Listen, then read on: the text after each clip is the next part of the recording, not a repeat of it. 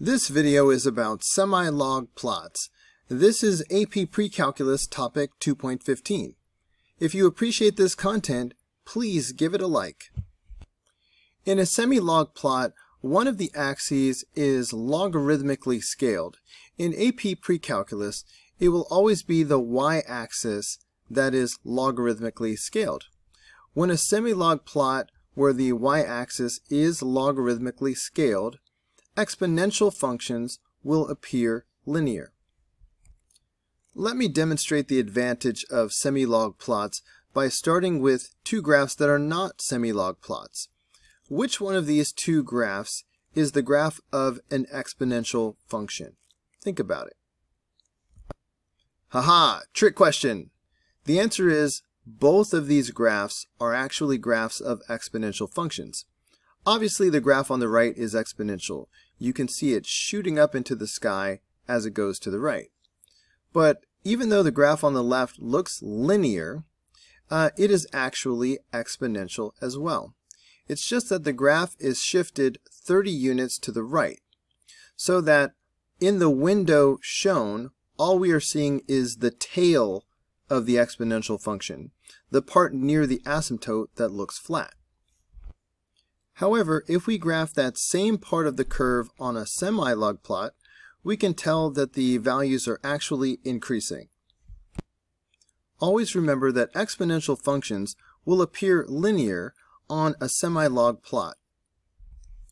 Both of these graphs show the population of English Americans in the United States from 1620 to 1820, where t equals 0 represents the year 1620. The graph on the left shows the population using a normal scale on the vertical axis. The values on the y-axis are evenly spaced, going up by 1 million each time. The graph on the right is a semi-log plot where the vertical axis has been logarithmically scaled. This means that the values on the y-axis are changing multiplicatively. In this case, as we move from one value to the next, we are multiplying by 10 each time. Notice that on the normally scaled graph, the first five values appear constant. That's because eventually the values get all the way up to 7 million. In order to fit a value that large on the graph, we have to zoom out so far that smaller values appear almost the same. On the semi-log plot, even though the largest values still fit on the graph, we can actually see the changes among those first few values. Example 1. Use the features of the semi-log plot above to justify why an exponential model is appropriate. I'm going to disagree with the premise of the question a little bit. If a semi-log plot appears linear, an exponential model is appropriate. However, only this part of the graph appears linear on the semi-log plot. So an exponential model is appropriate starting here. Remember that t equals 0 represents the year 1620. So the number 40 here is really 1620 plus 40. This is the year 1660. We can say that an exponential model is appropriate from 1660 to 1820 because the semi-log plot is roughly linear. Example 2. After Mr. Passwater tells another one of his hilarious math jokes, it begins to spread around the school. The number of people P that have heard the joke after T minutes is graphed on the semi-log plot above, where the vertical axis has been logarithmically scaled. Which of the following functions could be a model for P. Notice that the semi-log plot appears linear. That means the actual function P must be exponential. We can immediately throw out options A and C because these are not exponential functions. On a semi-log plot where the numbers on the y-axis are multiples of 10, it works like this we start counting from 1, and first it goes 1, 2, 3, 4, all the way up to 10. But once you get to 10, then you start counting by tens. So it goes 10, 20, 30, 40, all the way up to 100. As you pass 100, you start counting by hundreds, and so on. That means that the y-intercept is the point 0, comma 2. Let's use this to choose between the remaining two options. For option B, p at 0 would equal 2 plus 2 to the 0 power. 2 to the 0 power is 1. So that means p at 0 is 2 plus 1, which is 3. That is not 2. So B is not the answer. On the other hand, for option D, if we do P at 0, that would be 2 times 2 to the 0 power. Again, 2 to the 0 power is 1. So that means P at 0 is 2 times 1, which is 2. And that is what we wanted. So the answer is D. Here's an important note about semilog plots. When we logarithmically scale uh, the vertical axis of a semi-log plot, we are not actually changing the y values of the data. To logarithmically scale the vertical axis, it means that equally spaced values on the y-axis are proportional, whereas equally spaced values on the x-axis are linear. Uh, by the way, that's why we call it semi-log plots, because we're only logarithmically scaling the vertical axis, not the horizontal axis. Example 3. The table above gives selected values for the function f. Which of the following graphs could represent these data in a semi-log plot where the vertical axis is logarithmically scaled? For a semi-log plot, equally spaced values on the vertical axis will change multiplicatively. For option A, the values are changing additively. We are increasing by 0.5 each time. So this is not a semi-log plot, and the answer cannot be A. For option B, we only have two values labeled on the vertical axis. That's not enough to tell whether these values are changing additively or multiplicatively or neither. So uh, this is not going to work. For option C, equally spaced values on the vertical axis are changing additively. So C cannot be the answer. It has to be multiplicative for a semilog plot. For option D, equally spaced values on the vertical axis are changing multiplicatively. As we go from number to number, we are multiplying by 10 each time while on the horizontal axis, the values are spaced additively as usual. So this is a semi-log plot. Of the four, this is the only semi-log plot, so we know the answer is going to be D. But let's look at a couple of the values and see how they match up to what we see. So for example, uh, this first point right here is the point uh, 1 comma, and remember how we count. Once we pass 10, we are counting by tens. So this line right here is 10, but then it goes 20, 30, 40. So this dot is at 1 comma 40. So when we scroll up and look at the chart, and there it is, 1 comma 40. The next dot should be at 2 comma 60. Let's look for that one. So here's 2, and it goes 10, 20, 30, 40, 50, 60. So this does make sense. Let's look at one more. Let's look at this point right here. This is 5 comma, and by, as we pass 100, we are to count by hundreds.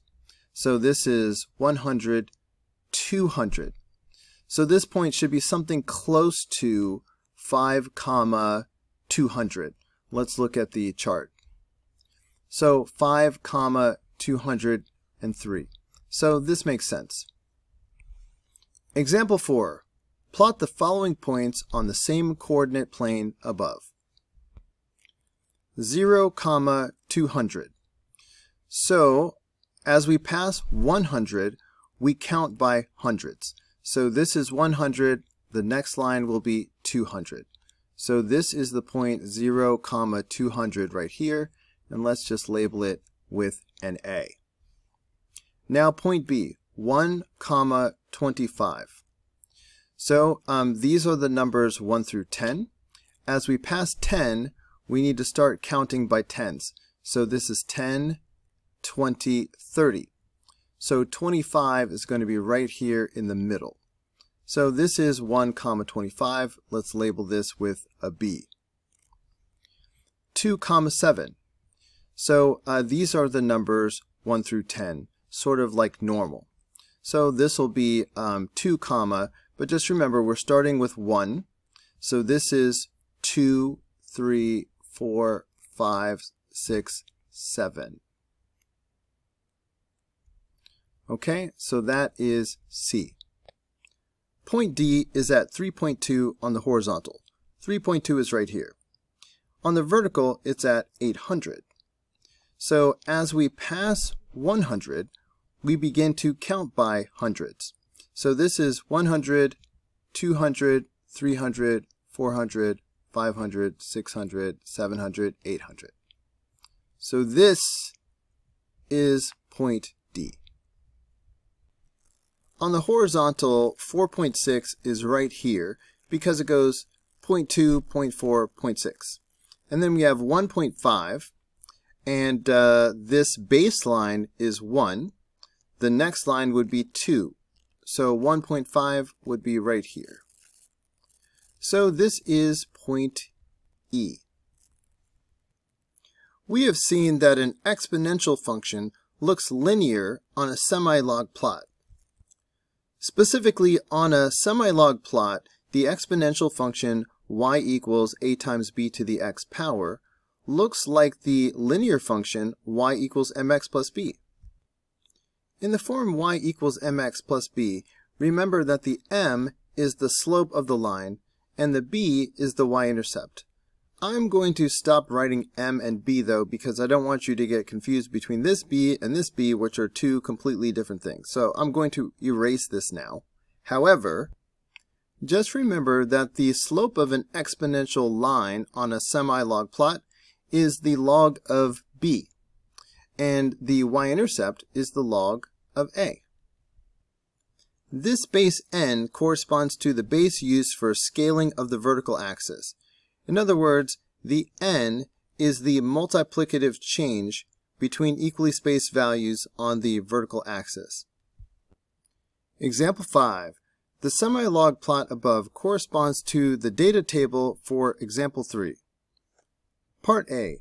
Write an equation for the linear model for the semi-log plot of the form y equals log base n of b times x plus log base n of a. In this case, n is equal to 10. So log base n of b becomes log base 10 of b, or simply log b.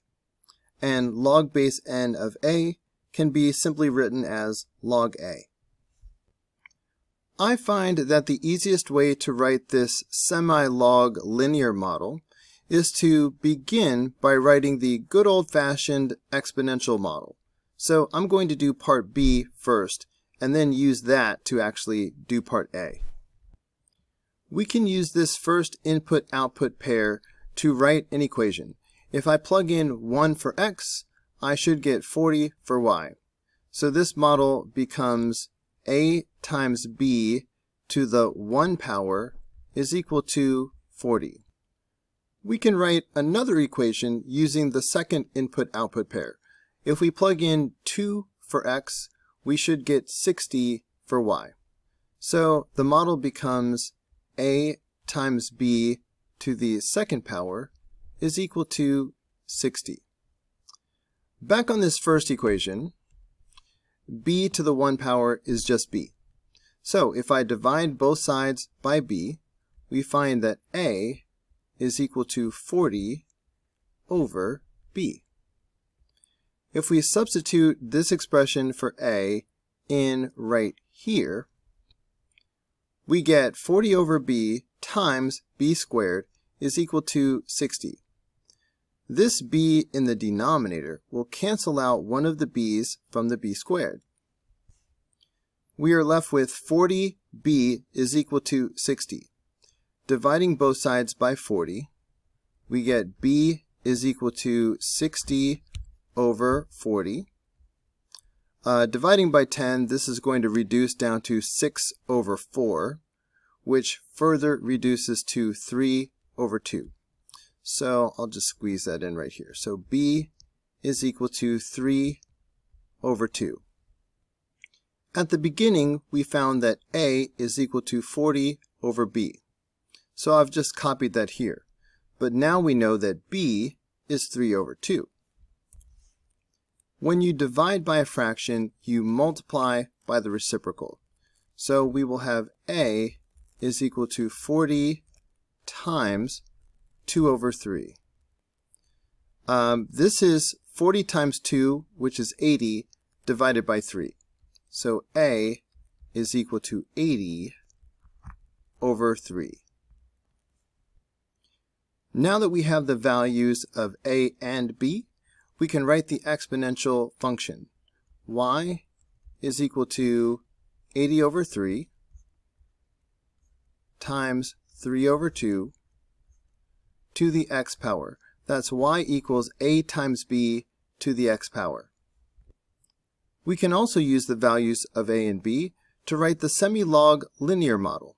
Remember, it's going to be y equals log b, so that's log 3 over 2 times x plus log a. So plus log 80 over 3. So that's it. This is the semi-log linear model. Number 6. Which of the following tables provides evidence that f is an exponential function if y equals f of x? Notice that for options A and B, the y values are scaled normally. It's just a y. On the other hand, options C and D are scaled logarithmically. We have the natural log of y as the output. These would be perfect for semi-log plots. A normal plot will be exponential if the output values vary multiplicatively for equally spaced input values. However, these output values vary additively, so a is not an exponential function.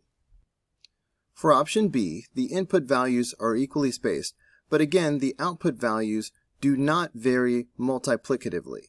So option B is not exponential either. On a semi-log plot, output values will vary additively for exponential functions, because on a semi-log plot, exponential functions appear linear. For option C, the input values are equally spaced, while the output values vary multiplicatively. But this is a semi-log plot. So if this is to be exponential, the output values should vary additively, not multiplicatively. So C is not exponential. So the answer must be D, but let's see why. Option D is a semi-log plot, and the output values do vary additively for equally spaced input values. So option D is exponential. Number 7. The function f is given by f of x equals a times c to the x power, where a is always greater than 0 and c is greater than 1. Which of the following is true about the values of m and b in the equation natural log of f of x is equal to mx plus b? Earlier in the video, we learned that the log of the base is the slope of the semi-log linear model. So this is like the m. And we learned that the y-intercept is the log of the a value in the front. This is what they're calling the b value. Notice that uh, in the problem we're working on now, they replaced this b with a c so we wouldn't get it confused with the y-intercept. So the slope m will be the log of the base of the exponential function. So in this case, m will equal the log of c. And the y-intercept b will equal the log of the a value, so natural log a. Quick side lesson. We have memorized that this is what the parent function y equals natural log x looks like. Also memorize that this x-intercept is at 1. The question is, when will natural log x be positive and when will natural log x be negative? Looking at the graph, we can see that natural log x is positive when x is greater than 1. We can see that natural log x is negative when x is between 0 and 1. For example, natural log 3 is positive because 3 is greater than 1. On the other hand, natural log 1 third will be negative because 1 third is between 0 and 1. Uh, I can sort of prove that to you in two ways. Uh, one way is let's put this in a calculator. If we type natural log of 1 third into the calculator, we are going to get a negative number. If we just type in natural log 3, that's going to be a positive number. Here's another way to see why natural log of 1 third is negative. Natural log 1 third is the same thing as natural log of 3 to the negative 1 power. Using our properties of logarithms, we can take this exponent and put it to the front. So we would get negative natural log of 3. So that's why uh, natural log of 1 third is a negative number. Back to the problem they told us that a is positive. Does that mean that natural log a will always be positive? Of course a had to be positive because you can't take the natural log of a negative number.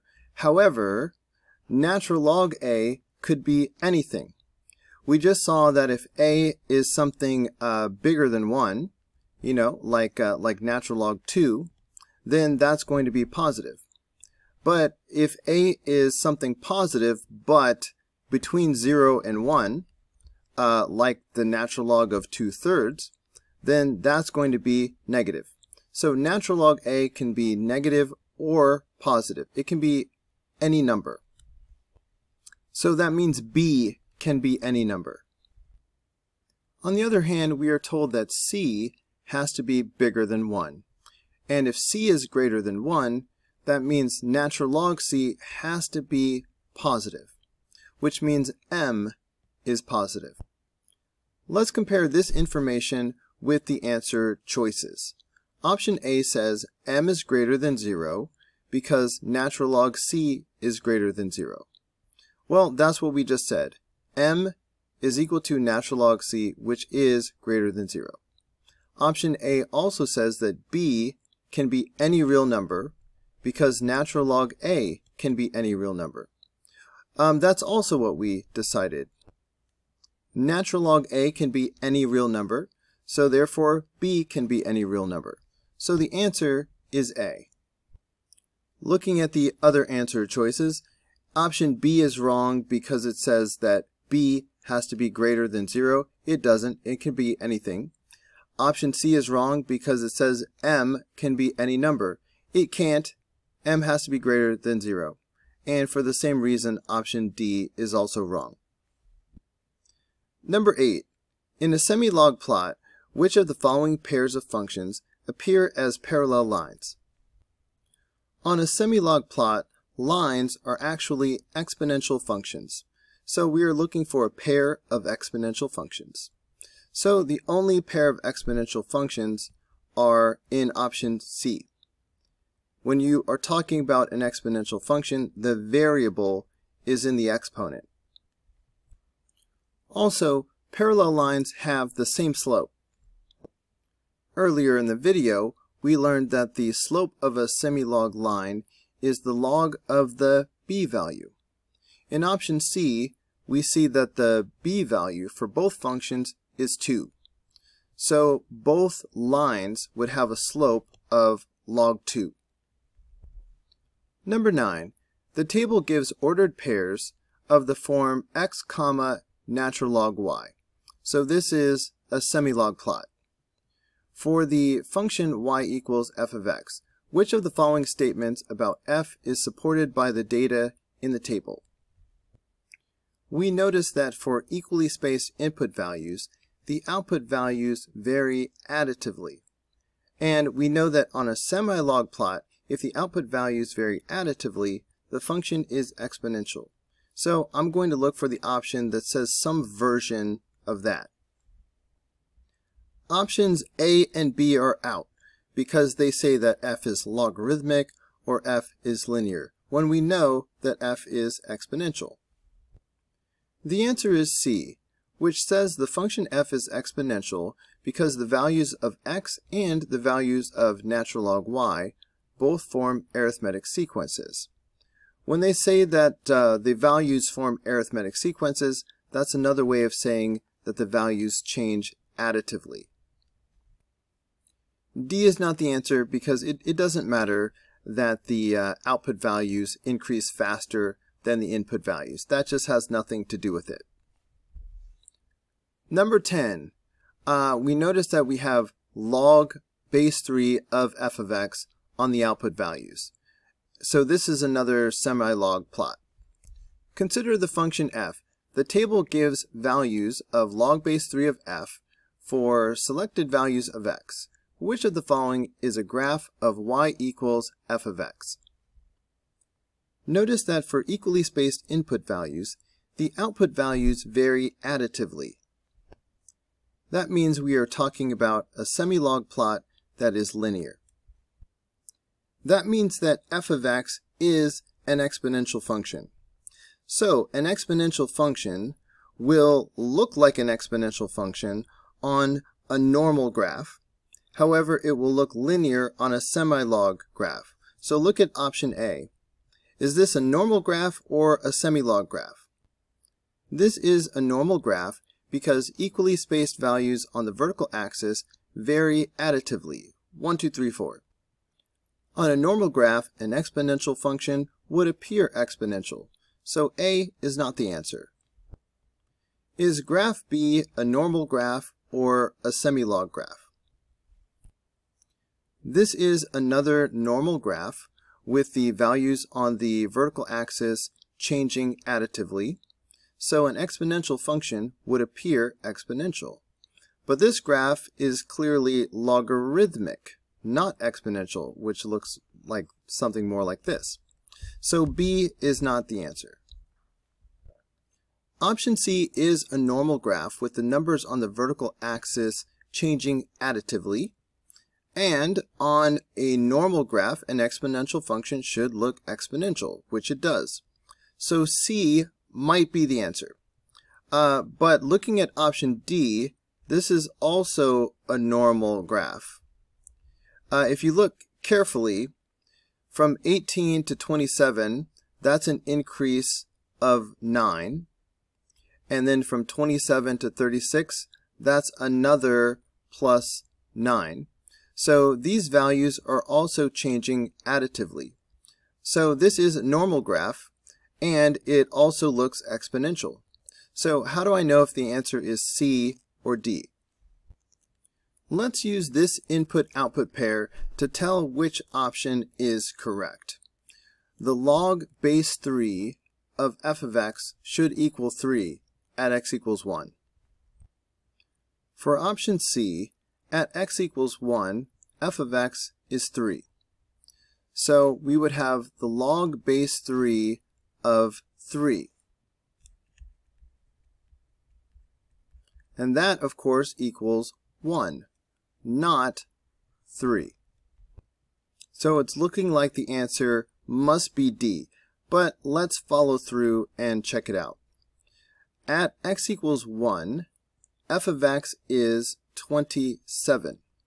So we would have the log base 3 of 27. And that is equal to 3, just like we wanted. So the answer is D. Number 11. The number of thousands of people that have visited a new website is recorded every 10 days for 60 days. These data are used to produce a semi-log plot as shown. The function n gives the number of thousands of people that have visited the website for day t. Which of the following could define n of t? Since we have a semi-log plot that appears linear, that means n of t must be exponential. So that eliminates option A and option B. This point right here is the point 10 comma 5. Remember, the bottom line is 1, and then it goes 2, 3, 4, 5. Let's use this point to decide whether C or D is correct. If we plug in the input value of 10 for T, we should get an output value of 5.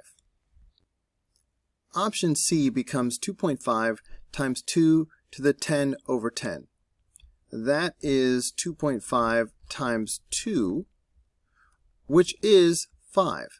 So it's looking like C might be the answer. But let's look at option D before we circle it. If we plug in 10 right here, then option D becomes 3 plus 2 to the 10 over 10 power. That's 3 plus 2, which is also 5. So that didn't really help. Let's try going on to the next point. Let's try the point 20 comma 10. For an input value of 20, we should get an output value of 10. So if we plug in 20 for option C, we get 2.5 times 2 to the 20 over 10 power. That's 2.5 times 2 to the second power. That's 2.5 times 4. So that is 10. So it's looking like C might be the answer. We were fooled before, so let's try option D. If we plug in the 20, D becomes 3 plus 2 to the 20 over 10 power. That's 3 plus 2 squared. That's 3 plus 4, which is 7, not 10. So the answer is C. Hey guys, don't forget to like and subscribe, but also if you found this video helpful, there's a lot more where that came from. You can click the upper link, which will take you to the whole unit playlist, or you can click the lower link, which will take you to the next video in the playlist. See you there.